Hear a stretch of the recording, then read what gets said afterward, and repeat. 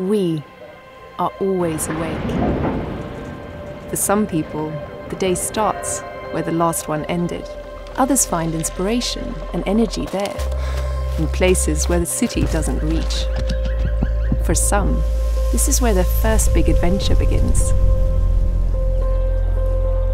For us, the travel experience is what's important, regardless of whether everything is new or part of their everyday world. We connect the airport, Sweden as a country, and Sweden with the rest of the world. No matter who you are, who's waiting for you, and where you're traveling, this is where your journey begins.